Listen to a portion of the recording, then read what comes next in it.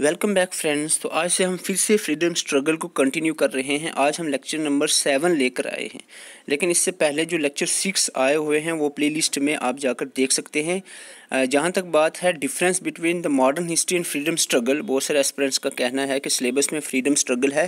तो मैं आपको बता दूँ लेक्चर नंबर वन को आप छोड़ दें। लेक्चर नंबर टू से आगे सारा ही फ्रीडम स्ट्रगल के अंदर आता है, ठीक है?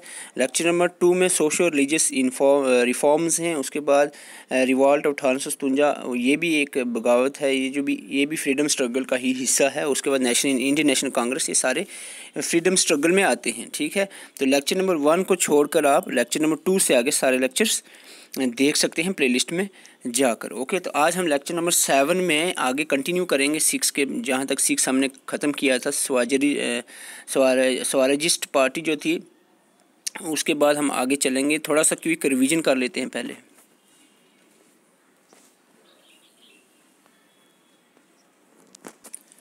सो so, स्टूडेंट्स थोड़ा सा पिछला याद करें कि हमने जो लेक्चर नंबर सिक्स में पढ़ा था, उसके बारे में थोड़ा सा रिवाइज़ कर लेते हैं, फिर हम आगे चलेंगे।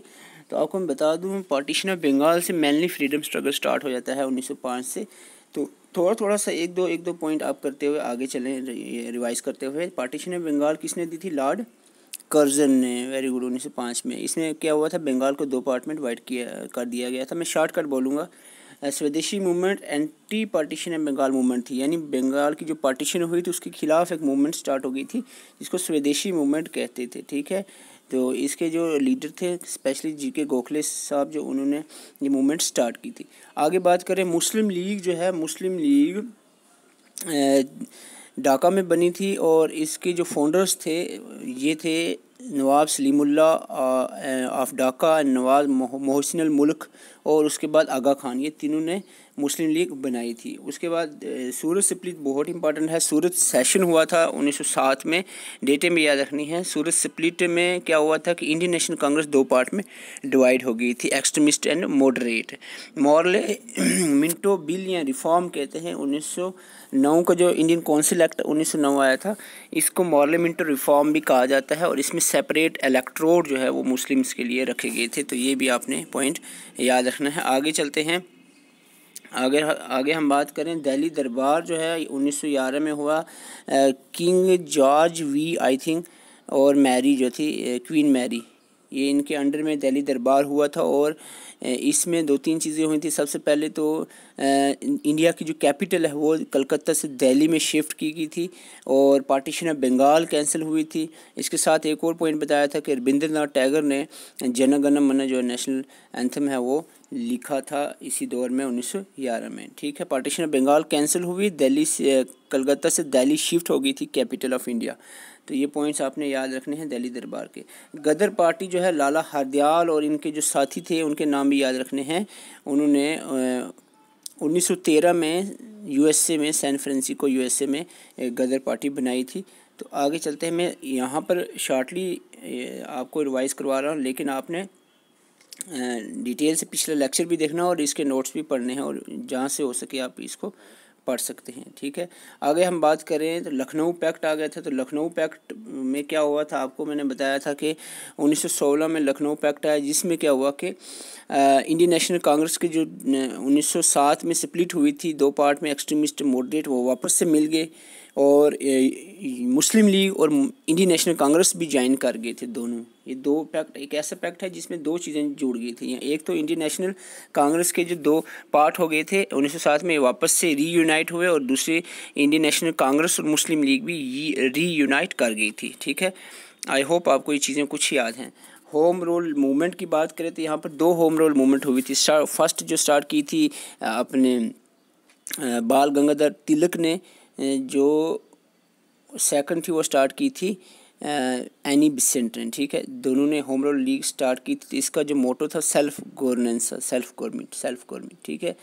तो इसमें ख़ास बात थी, मैंने बताई थी होम रोल मूवमेंट में दो क्वेश्चन जो कि आई में पूछे गए थे होम रोल मूवमेंट से। इसमें क्वेश्चन थे न्यूज़पेपर्स के। तो आपको मैंने बताया था, जो न्यू इंडिया और कॉमन हील जो न्यूज़पेपर है, वो एनी बिसेंट के थे। और जो बाल गंगा तिल, तिलक के जो न्यूज़पेपर थे वो थे केसरी एंड एक और था उसका नाम मेरे दिमाग से निकल गया। तो वो दो न्यूज़पेपर आपको याद रखने हैं। चार न्यूज़पेपर यहाँ पर पब्लिश किए गए थे होम रूल मूवमेंट के जो फाउंडर्स हैं उनके द्वारा। अगस्त डिक्लेरेशन जो है 1907 में एक डिक्लेरेशन मोन्टेगो डिक्लेरेशन जिसको कहते हैं, एक अगस्त ऑफ़र भी आएगा 1940 में। वो अलग चीज़ है, ये अलग अगस्त डिक्लेरेशन है, इतने ज़्यादा इंपॉर्टेंट नहीं है। फिर आप बात करें गांधी जी जो है 1915 में आ गए थे इंडिया में, उसके बाद इन्होंने तीन मूवमेंट्स की। नॉन कॉपरेशन मूवमेंट से पहले तीन छोटी मूवमेंट्स हुई थी गांधी जी के द्वारा, और वो थी चैम्पियन सत्याग्रह था, उसके बाद अहमदाबाद सत्याग्रह मिल स्ट्राइक थी, उसके बाद खेड़ा सत्याग्रह। तो ये तीन सत्याग्रह किए चैम्पियन में, अहमदाबाद में और खेड़ा में। तो यहाँ चंपारण सबसे पहला सत्याग्रह था गांधी जी के द्वारा 1907 में। तो ये आपने याद रखना है चंपारण के बारे में। तो इसमें जब आपको याद रखना है, क्या किसके रिलेटेड था ये चंपारण सत्याग्रह? जो तीर कंथर जो इंडिगो कल्टीवेटर्स थे, जो प्लांटर्स थे इंडिगो कल्टीवेटर्स के, उनको फोर्स किया गया था यूरोपियन प्लांटर की तरफ़ से, जो इंडिगो कल्टीवेटर्स के जो फार्मर्स थे उनको, कि भाई आप अपने तीन जो जिसको तीर किंथा सिस्टम कहते हैं शायद आई थिंक कि अपना जो है जो मैक्सिमम लैंड का पोर्शन है, उसमें आप इंडिगो ग्रो करो। तो उसके खिलाफ जो एक मूवमेंट स्टार्ट की गई थी चैम्पियन मूवमेंट और अहमदाबाद जो मूवमेंट हुई थी मिल स्ट्राइक ओनर्स जो थे मिल स्ट्राइक मूवमेंट कहते हैं इसको, ये फार्मर्स और जो मिल मिल ओनर्स थे, उनके बीच में ये मूवमेंट हुई थी ऑन द प्लैग बोनस उस दौर में प्लैग आ गया था कि बीमारी, उस पर जो बोनस मिल रहा था, उस पर ये मूवमेंट स्टार्ट हुई। तो बोनस क्योंकि जो मिल ओनर्स थे, उन्होंने बोनस बंद करने का अनाउंस कर दिया था। तो इसलिए लोग लोग जो है इकट्ठे हुए। और सबसे पहली जो महात्मा गांधी ने हंगर स्ट्राइक की थी, वो भी अहमदाबाद मिल स्ट्राइक के दौरान ही हंगर स्ट्राइक फ़र्स्ट की गई थी। ये पॉइंट्स आपने याद रखने हैं। आगे चलते हैं। हमने बात की थी यहाँ तक, ठीक है?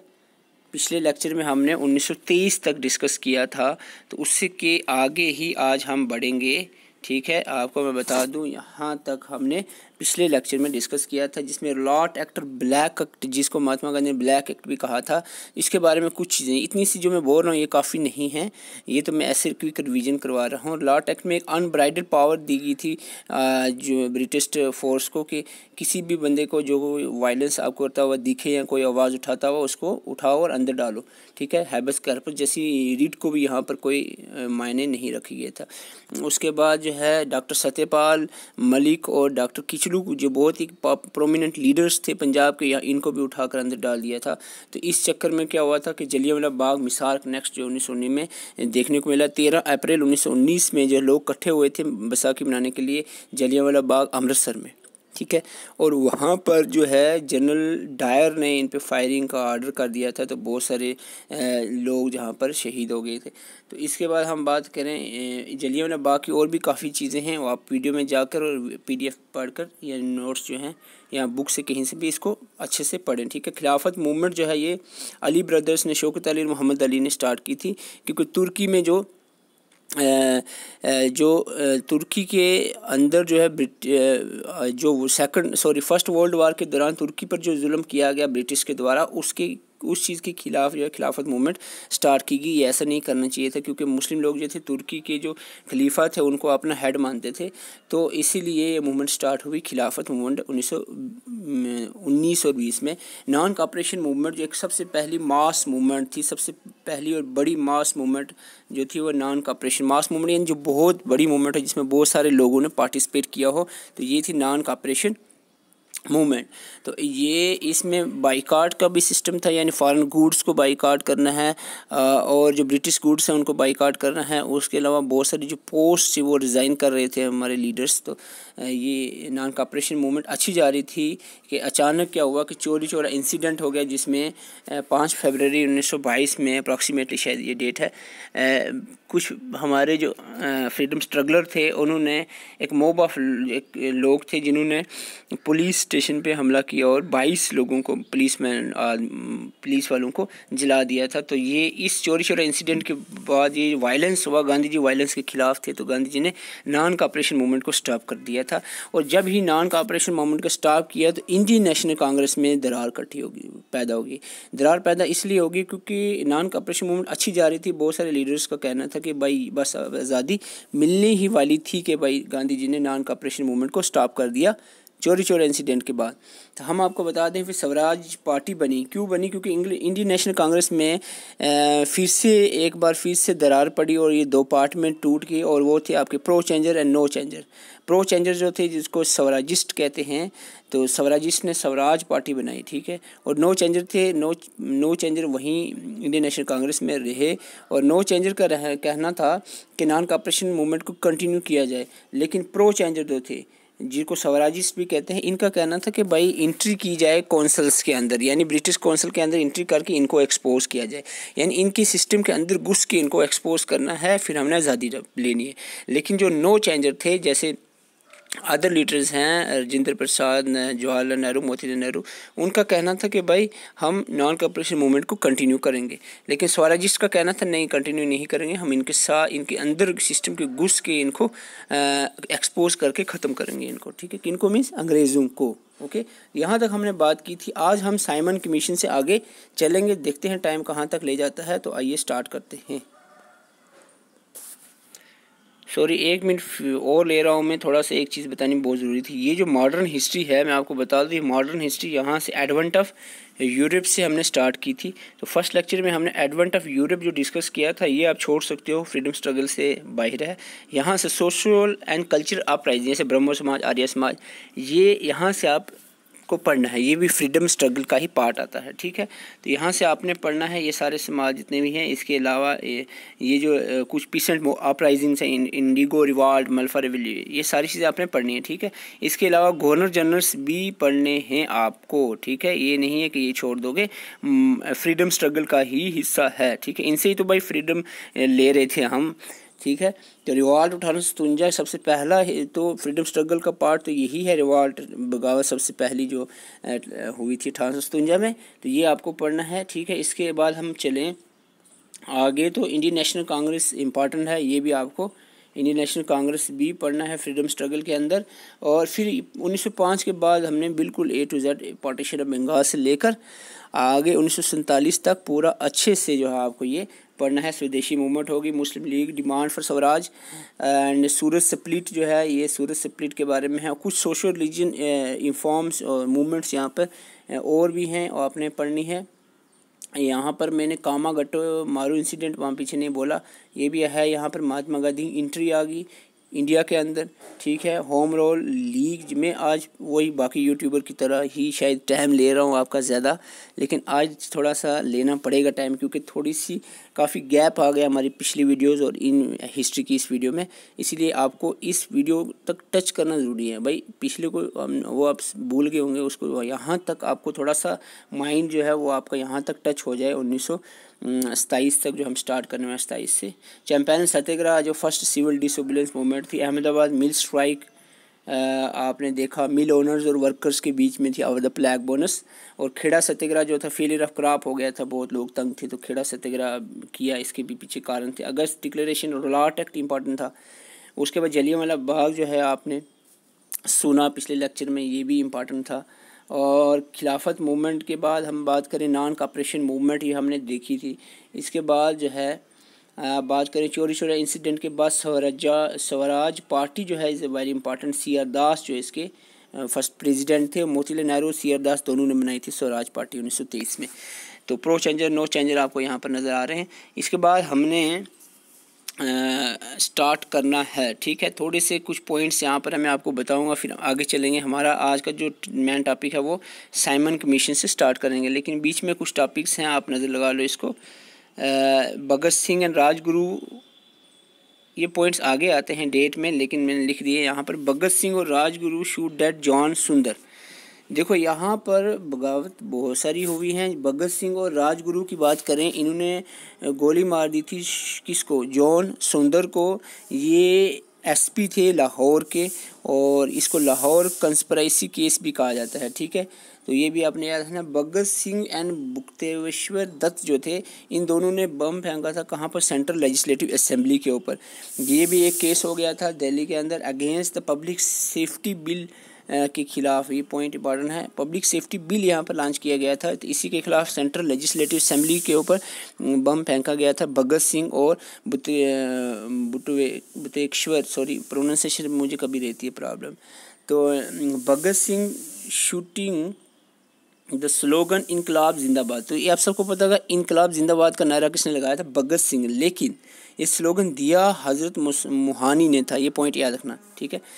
हज़रत मोहानी ने स्लोगन लिखा था, दिया था और भगत सिंह ने ये स्लोगन बोला था, उठाया था, शूटिंग किया था। शूटिंग में आवाज़ लगाना। भगत सिंह, राजगुरु और सुखदेव जो है, तेईस मार्च उन्नीस में इनको फांसी चढ़ा दी गई थी जे एट लाहौर जेल में। तो ये आपने याद रखना है, ये शहीद हो गए थे उन्नीस, तेईस मार्च उन्नीस में। ओके इसके बाद अगर हम आगे बात करें तो रेवोल्यूशनरी ऑर्गेनाइजेशन आप ये स्क्रीनशॉट इसकी वीडियो पास करके ले सकते हैं। तो ये आप रीड आउट कर लेना कुछ रेवोल्यूशनरी ऑर्गेनाइजेशन जो आउटसाइड द इंडिया बनी थी, ठीक है? तो ये आपने याद रखना। इसके बाद अगर हम बात करें रेवोल्यूशनरी ऑर्गेनाइजेशंस जो कहाँ बनी थी? इंडिया के अंदर वेरी गुड इंडिया के अंदर तो वो भी आपने याद रखनी है, ठीक है? आगे हम बात करें तो आज हमारा टॉपिक था, आपको मैं बता चुका हूँ। अभी साइमन कमीशन से आगे हम स्टार्ट करने वाले हैं तो होपफुली आपको समझ आए। तो साइमन कमीशन एक स्टेचुटरी कमीशन है, ये आपने पहला पॉइंट याद रखना है, उन्नीस सौ सताईस में कमीशन आई थी। थोड़ा सा मैं रफली आपको बता दूँ। देखो 1909 में इंडियन काउंसिल एक्ट आया, फिर 10 साल के बाद 1919 में इंडियन काउंसिल एक्ट आया। ठीक है। अब उन्नीस सौ उनतीस में दस साल के बाद इंडियन काउंसिल एक्ट आना था। जो ये दस दस साल के बाद एक्ट आते थे, ये पूरी जाँच करते थे, भाई सिस्टम कैसा चल रहा है क्या क्या चेंजेस लानी है, क्या नहीं लानी। लेकिन अब उन्नीस सौ उनतीस की जगह दो साल पहले ही एक कमीशन भेजी गई ब्रिटिश के द्वारा। और जिसका नाम था साइमन कमीशन साइमन कमीशन इसलिए क्योंकि इसका जो हेड बनाया था, वो साइमन उसका नाम था और ये सेवन मेंबर्स की एक कमीशन थी, ठीक है? और गलत बात इसमें क्या थी? सबसे बड़ी गलत बात ये थी कि इसमें जो सेवन मेंबर थे, वो सेवन के सेवन ब्रिटिश थे वाइट थे, गोरे थे। ठीक है, इसमें इंडियन कोई भी नहीं था। इसलिए इंडियन लोग थे, इन्होंने नारा लगाया था साइमन गो बैक कि, हमें ये कमीशन नहीं चाहिए। बड़े यहाँ पर दंगे फसाद हो गए थे और लाठी चार्ज भी चला। लाला, लाजपत राय जिनको पंजाब केसरी कहते हैं, ये at Lahore was severely beaten by lathi charge and and he died due to injuries in उन्नीस सौ अट्ठाईस में। तो इन्हीं इंजरीज़ की वजह से जो लाठी चार्ज हुआ इस साइमन कमीशन के बाद, लाला लाजपत राय जी इन डाइड हो गए थे। इसी इंजरीज जो हुई इस दौरान। ठीक है, ये पॉइंट भी है। इसके अलावा साइमन गो बैक का नारा भी यहाँ पर लगाया गया था और ख़ास बात यहाँ पर किया थी साइमन कमीशन के सेवन मेंबर ऑल ब्रिटिश थे। इसमें none of the Indian was appointed in the commission ठीक है तो ये किस सेशन जो है उन्नीस सौ सताईस का मद्रास में हुआ। Decided to boycott the Simon commission तो इंडियन नेशनल कांग्रेस ने एक सेशन बुलाया, कहाँ पर? मद्रास में, उन्नीस सौ सताईस में, और बाईकाट करना है साइमन कमीशन का, ये वहाँ पर डिसाइड हुआ। तो ये एक स्टेचुटरी बॉडी है तो ये पॉइंट्स आपने याद रखने हैं, ठीक है? साइमन कमीशन के रिलेटेड आगे चलते हैं नेहरू रिपोर्ट देखो नेहरू रिपोर्ट क्यों आई क्या है? पहले इसको थोड़ा सा देख लेते हैं। एक अंग्रेज़ था, जिसका नाम था Lord Birkenhead Birkenhead Lord Birkenhead जो थे, इन्होंने क्या किया कि Motilal Nehru Indian National Congress को एक चैलेंज दिया कि भाई अगर आप चाहते हो कि हम आज़ादी चाहते हैं कि आप पहले एक ड्राफ्ट ऑफ़ कॉन्स्टिट्यूशन बना के बता दो। एक चैलेंज था इंडियन के लिए। तो फिर इंडियन नेहरू रिपोर्ट में क्या हुआ कि मोतीलाल नेहरू ने एक ऑल पार्टीज़ कॉन्फ्रेंस सभी पार्टीज़ की कॉन्फ्रेंस बुलाई उन्नीस सौ अट्ठाईस के अंदर, ठीक है?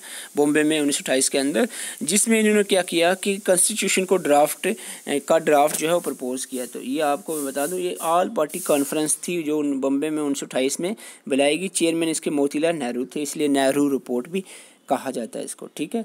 तो दूसरा पॉइंट है कि यहाँ पर ये आल जो पार्टी कॉन्फ्रेंस थी, इसमें इंपॉर्टेंट पॉइंट क्या था कि ड्राफ्ट प्रपोज दे दे मीन्स ये जो सारी आल पार्टी कॉन्फ्रेंस थी, इन्होंने क्या किया? ड्राफ्ट प्रपोज किया कॉन्स्टिट्यूशन का, ठीक है? और ये first major attempt to draft constitution framework constitution का फ्रेमवर्क बनाने में सबसे पहला जो मेजर जो अटैम्प्ट था, वो यही था नेहरू रिपोर्ट के दौरान ही किया गया था, और इस काल नेहरू रिपोर्ट ठीक है? तो नेहरू रिपोर्ट इसको कॉमनली कहते हैं। रिपोर्ट वॉज़ सबमिटेड डेट याद रखनी ज़रूरी नहीं है। अगस्त अट्ठाईस, उन्नीस सौ अट्ठाईस में at Lucknow conference all party इसको छोड़ो। की पॉइंट्स क्या थे? नेहरू रिपोर्ट में की पॉइंट्स क्या रखे गए? दो इंपॉर्टेंट मैंने लिखे हुए हैं। Dominion status joint electorate linguistic provinces और नाइनटीन फंडामेंटल राइट जहाँ पर लाए गए।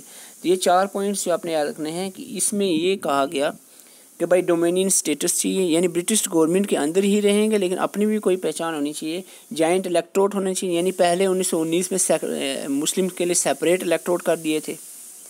तो नेहरू रिपोर्ट में कहा कि भाई जॉइंट इलेक्ट्रोड होने चाहिए सेपरेट नहीं होने चाहिए, क्योंकि इससे डिवाइड रूल वाला मसला होता है। लेकिन मुस्लिम लीग यहाँ पर अपोज हो गई थी।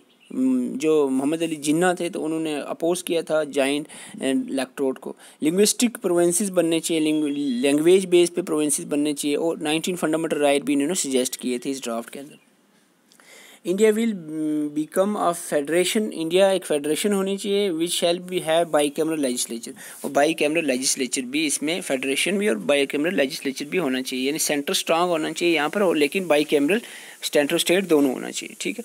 अगर हम बात करते हैं, ये था आपका नेहरू। सॉरी कहाँ चले गए?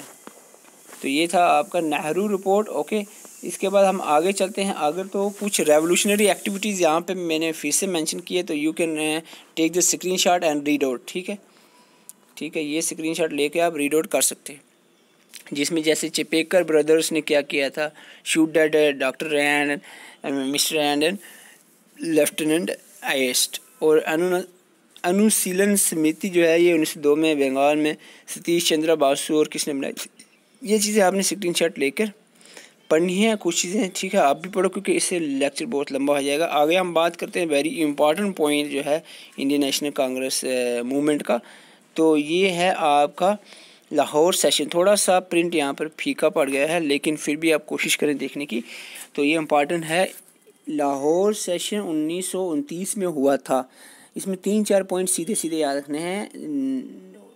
ये जवाहरलाल नेहरू की प्रेसिडेंटशिप में हुआ था, यानी लाहौर सेशन उन्नीस सौ उनतीस में जवाहरलाल नेहरू इस सेशन में प्रेसिडेंट थे और ये फ़र्स्ट टाइम प्रेसिडेंट बने थे इंडियन नेशनल कांग्रेस के जवाहरलाल नेहरू एट लाहौर सेशन ठीक है? और यहाँ पर क्या डिक्लेयर किया गया था? ये इंपॉर्टेंट लाहौर सेशन में पूर्ण स्वराज डिक्लेयर किया गया। पूर्ण स्वराज मीन्स कंप्लीट इंडिपेंडेंस इससे पहले जितनी भी डिमांडें उठी थी डोमेन स्टेटस की सेल्फ गवर्नमेंट की, ये चीज़ें उठी थी, लेकिन पूर्ण स्वराज की डिमांड यहाँ पर लाहौर सेशन में देखने को मिली। कंप्लीट इंडिपेंडेंस की डिमांड जो है, पूरी आज़ादी चाहिए हमें। ये लाहौर सेशन उन्नीस सौ उनतीस में देखने को मिली एज इट्स अल्टीमेट गोल ये अल्टीमेट गोल था इसी सेशन का जो हमने लाहौर सेशन में देखा। और दूसरा पॉइंट है कि इकतीस दिसंबर उन्नीस सौ उनतीस जो है, में एक newly adopted tricolour flag was unfold on Ravi river river Ravi के किनारे पे ये हमारा जो तिरंगा है, ये पहली बार कब लहराया गया अनफोल्ड किया गया, ये इकतीस दिसंबर उन्नीस सौ उनतीस में फर्ल्ड किया गया, लहराया गया ट्राई कलर फ्लैग। तो ये अपने पहला पॉइंट याद रखना है। और दूसरा है कि 26 जनवरी 1930 को डिसाइड किया गया, फिक्स किया गया कि ये फ़र्स्ट इंडिपेंडेंस डे होगा। फ़र्स्ट इंडिपेंडेंस डे जो है एक्चुअल में 26 जनवरी 1930 में ही बनाया, मनाया गया था। तो ये पॉइंट आपने याद रखना लाहौर सेशन के रिलेटेड ओके तो आगे हम थोड़ी सी और बात कर लेते हैं। लाहौर सेशन आई होप आपको कुछ चीज़ें याद रही होंगी। आगे हम बात करते हैं लाहौर सेशन के बाद। डांडी मार्च की। तो डांडी मार्च की अगर हम बात करें, देखो डांडी मार्च जिसको जब डांडी मार्च हुई थी, ये सत्याग्रह स्टार्ट हुआ था, डांडी मार्च सत्याग्रह तो इसी सत्याग्रह में सिविल डिसोबिलेंस मूवमेंट भी स्टार्ट कर दी गई थी, ठीक है? 1930 में, ठीक है? ये अलग नहीं है। तो पहले आप डांडी मार्च समझ लो, इसको साल्ट सत्याग्रह क्यों कहते हैं डांडी मार्च को? क्योंकि डांडी मार्च जो चली थी, साबरमती आश्रम से लेकर डांडी विलेज तक, ये मार्च साल्ट लॉ को तोड़ने के लिए, कानून ने एक, अंग्रेज़ों ने एक लॉ बनाया था, साल्ट लॉ, जिसके तहत जो साल्ट है समुद्र के किनारे से जो नमक बनता था, वो उसको लोग इवन के वहाँ पर रहने वाले लोग भी इस्तेमाल नहीं कर सकते थे, ठीक है? उस पर टैक्स लगता था। तो इसके खिलाफ जो है ये साल्ट सत्याग्रह आर डंडी मार्च शुरू की गई ठीक है? ये लिखा हुआ है is to break the salt law इसको वाइट फ्लोविंग रिवर्स भी कहते थे। Gandhi ji started this march from his base Sabarmati से शुरू हुई और डांडी तक चली थी, थी ये पॉइंट याद रखना है। अठत्ती सॉरी सेवेंटी एट फॉलोअर्स इसमें शामिल थे। बारह मार्च उन्नीस सौ तीस में ये मार्च स्टार्ट हुई और जाकर छः अप्रैल दो 1930 में जाकर ये डांडी में ख़त्म हुई। सबरमती से कब चले थे ये? गांधी जी और अठहत्तर फॉलोअर्स 12 मार्च को 1930 तो आपको पता ही है 12 मार्च को चले और 6 अप्रैल को डांडी में पहुँचे थे। सेवेंटी एट फॉलोअर्स के साथ गांधी जी पहुँचे थे। Gandhi ji picked up a handful of salt एक मुट्ठी भर साल्ट उठाया समुद्र के किनारे से और हवा में फेंका और एक आवाज़ लगाई कि हमने ला, ब्रेक द साल्ट। तो इस तरह से साल्ट ला को तोड़ा और सिविल डिसबलेंस मूवमेंट यहाँ से स्टार्ट कर दी। सिविल डिसबलेंस होता है नहीं मानना मानना नहीं। तो अंग्रेज़ों की बात नहीं मानेंगे हम तो ये सिविल डिसबलेंस मूवमेंट यहाँ पर स्टार्ट हो गई थी। तो ये चीज़ें आपने याद रखनी है। इसके बाद खान अब्दुल गुफार खान जो है, इन्होंने पाँच हज़ार नॉन वायलेंट एक्टिविस्ट जिसको खुदाई खिदमतगार कहते हैं, ये तैयार किए हुए थे। बिल्कुल पाँच हज़ार नॉन वायलेंट एक्टिविस्ट स्टार्ट की एक बनाई थी टीम जिसको खुदाई खिदमत गार कहते हैं। ये भी याद रखना है, खान अब्दुल गफ़ार खान, जिसको फ्रंटियर गांधी भी कहते हैं। और सी राजा गोपालाचार्य ने साल्ट मार जो है ईस्ट कास्ट जो ईस्ट कास्ट है, जो ईस्ट साइड का की जो ईस्टर्न कास्ट के जो किनारा है समुद्र का तो वहाँ पर ये स्टार्ट की थी और Sarojini Naidu become the first women to be arrested in the salt satyagraha salt satyagraha में अगर कोई वुमेन अरेस्ट हुई तो ये थी सराइजी नायडू जी भी सात साल चलती रही हैं इस मूवमेंट में। तो ये डांडी मार्च सिविल डिसबलेंस मूवमेंट आपने याद रखें उन्नीस सौ तीस की अभी हम बात कर रहे हैं। हमारी हिस्ट्री पहुँची कहाँ तक? उन्नीस सौ तीस तक। तो मेरे साथ चढ़ गया, मेरी भाई थक गया। लेते हैं तीस सेकंड के लिए रेस्ट और आप भी आई होप समझ रहे होंगे और थक भी गए होंगे। तो और सुनाए, कैसे हैं? घर में सब ठीक है? आगे पढ़ेंगे आगे पढ़ेंगे हम हिस्ट्री और जो है तो कंप्यूटर हमने कवर कर दिया है। बहुत खुशी है मुझे कि कंप्यूटर का सिलेबस पंद्रह लेक्चर में हमने कंप्लीट किया है। प्ले लिस्ट पड़ी हुई है। कभी मौका मिले, फ्री हुए तो देख लेना। नहीं हुए फ्री तो फ्री अपने आप को करना पड़ेगा, क्योंकि देखना ज़रूरी है। ठीक है, और उसके साथ जो है पीडीएफ जो मैं प्रोवाइड कर रहा हूँ, वो भी पढ़ें उसके साथ बुक भी रीड आउट करें एम सी भी प्रैक्टिस करें। भाई, इतना आसान नहीं है, इतना आसान नहीं है भाई एग्ज़ाम क्वालिफाई करना। थोड़े पापड़ बेलने पड़ेंगे। First round table conference second round table conference third round table conference ये हुई तीस, इकतीस, बत्तीस में। तो तीस में फ़र्स्ट राउंड टेबल कॉन्फ्रेंस हुई। एक, पहली बार एक ऐसी कॉन्फ्रेंस ब्रिटिश ने बुलाई है, जिसमें इंडियन और ब्रिटिश को इक्वली दर्जा दिया गया, भाई आ जाओ हम बैठ के बातचीत कर लेते हैं। ये थी फ़र्स्ट राउंड टेबल कॉन्फ्रेंस उन्नीस सौ तीस। लेकिन मसला ये हुआ, ये नवंबर 12 1930 में ये लंदन में बुलाएगी। आइए बात करते भाई सैमन कमीशन को क्यों नहीं माना, भाई इंडियन लोगों? आइए इस पर बातचीत कर लेते हैं। तो बाईकाट ये कर दी गई मूवमेंट इंडियन नेशनल कांग्रेस ने बट मुस्लिम लीग और हिंदू महासभा और लिबरल्स के जो डॉक्टर बी आर अंबेडकर के अंदर जो बंदे आते थे वर देयर वहाँ पर वो पहुँच गए थे। लेकिन इंडियन नेशनल कांग्रेस ने इसको बाईकाट किया था। ये इंडियन नेशनल कांग्रेस वाले नहीं गए थे फ़र्स्ट ऑन टेबल कॉन्फ्रेंस में। कर्नल कैलाश नारायण होक्सर जो है जम्मू कश्मीर से ये कॉन्फ्रेंस में अटेंड की थी। जब जे एंड के में हम रहते तो इसलिए लिख दिया। कैलाश नायर होक्सर जो है जे एंड के थे, थे इन्होंने फ़र्स्ट राउंड टेबल कॉन्फ्रेंस में हिस्सा लिया था। तो फ़र्स्ट रोड टेबल कॉन्फ्रेंस 1930 में हुई देखो, अब नहीं इंडियन नेशनल कांग्रेस तो मैन पार्टी थी, नहीं आई तो इसलिए कुछ बातचीत करनी ज़रूरी थी। तो अरविंद जो थे, यहाँ पर अभी के वाइस राय इस दौर के तो इन्होंने गांधी जी को बुलाया कि भैया बैठ के बात कर लेते हैं, क्या वजह, आप आए नहीं? बुलाया था आपको। तो हुआ यूँ कि एक, यहाँ पर पैक्ट हुआ, एक माइदा यानी एक म्यूचुअल अंडरस्टैंडिंग यहाँ पर एक साइन की गई। In this Indian National Congress ने कहा, यानी दोनों बैठे इरविन और गांधी जी।